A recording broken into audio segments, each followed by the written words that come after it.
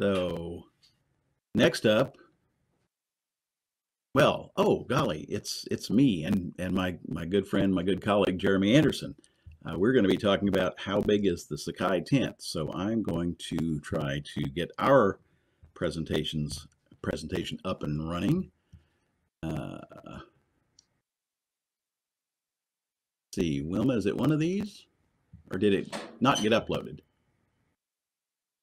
Oh, I don't think I uploaded yours. I put Oh. it in the. Um, okay, so I we put need it to in share the- screen then. Yeah, We can do that. it's in the shared Google Drive. I thought that That's was all right. I don't. I don't needed. need to. I don't need to do that. That's fine. So hang on just a second here. Paul says you're out of time. well, you know, Paul. so Martin, let me ask: want, I'll, I'll be glad to keep screen? time for you. I can I can be monstrous too. Yeah. Okay. Are you seeing the screen? yes. Okay, very good.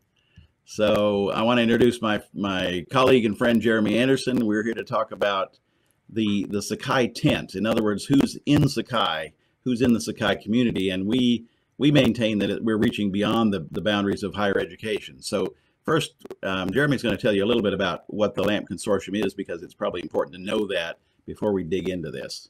So Jeremy, you there? Yeah, I'm here. Can uh, can you hear me? Yep. All right, excellent. Hey, it's nice to meet everybody. Um, so we get a great opportunity through the LAMP Learning Consortium to uh, really take Sakai outside the area of academics while we have academic partners uh, as a part of our consortium. Uh, we also reach out to various other areas as well. So the LAMP Learning Consortium, as you can see, we're, we're just a group of community of users from academic to a non academic uh, setting as as Dr. Uh, Chuck has already kind of indicated, uh, you know, we're, we're providing the best technology for teaching and learning. So we're able to do that uh, through the consortium. And, and not only do we provide um, Sakai, so we have other features that are available as well. Of course, Big Blue Button is in our instance of Sakai, uh, Warpwire, in, uh, ePortfolio integrations, uh, even badging, and then instructional design services. And we just pull all that together and uh, we work 30 plus uh, organizations um, and within our consortium to be able to make it affordable. So I think Martin kind of can uh, go to the next slide to kind of talk about what that affordability price looks like. So one of the things about the LAMP Learning Consortium is that we have membership levels uh, all the way from individual to what we would consider an enterprise uh, membership. So a small uh, commitment, a minimum commitment as little as three months um, and that would be uh, $150 uh, for those three months, $50 a month, all the way up to an enterprise uh, a commitment of one year, uh, up to 250 user accounts uh, for $4,800 in a 12 month time frame. So, and we encourage a lot of our users to start small and continue to grow um, their organization a couple features that I want to highlight here. You'll notice these subscription levels are based upon um, user accounts, active user accounts. Um, the other thing is with the number of courses that they're able to have on the platform, and then the ability to be able to customize branding. While we are one instance of Sakai, uh, we have uh, the multi-tenant capability of, of branding uh, for our users, and some of those are, extremely important for our various organizations. And then we also provide support. Uh, so we have level one and level two support. Our level two support is with our partners at Longsight. Grateful for them and the work that they do as well. So we're able to support um, what we would consider the number one LMS uh, in, for our, our particular users. So th- that's the basic uh, of LAMP. And uh, but we're going to demonstrate some some ways that we're using it outside of the the non-academic uh, areas. So, Martin, Jeremy, before I move on to the next slide, um, Yeah. let me just say because I, I'm realizing who we're talking to here. Many of you will say 250 users, that's nothing.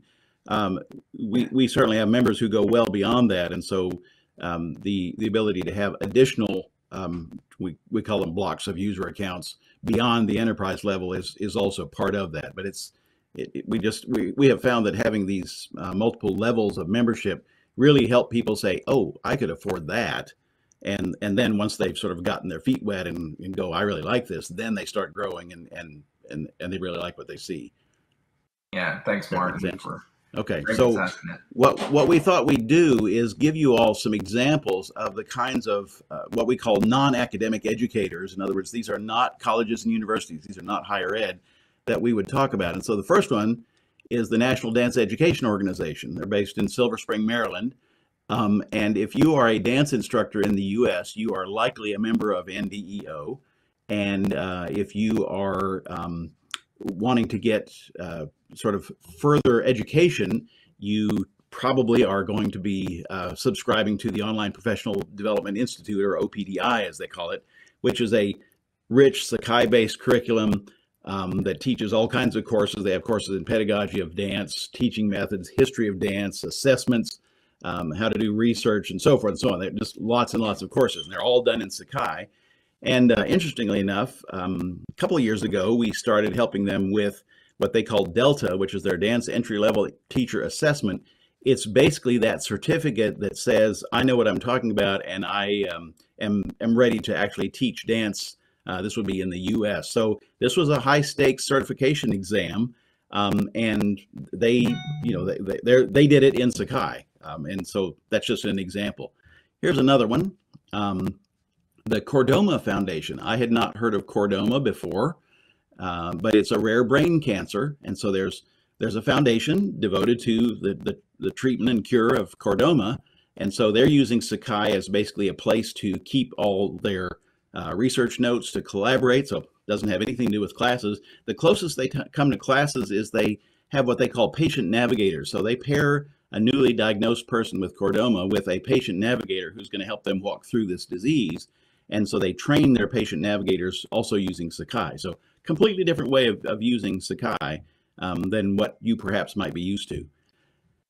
Um, Jeremy, Yeah. I'm talking a lot. I'm sorry. yeah, no, you're you're okay. And of course, the, the, the previous two slides that we've talked about, th- those are not for profit organizations, and uh, so you know, Sakai can be used in the academic realm, uh, the not for profit, and then on the uh, for profit side. So Sodexo, uh, those that are here uh, at universities, you may be familiar with Sodexo. Sodexo, they may supply your food service uh, there on your campus, but they have an internship program.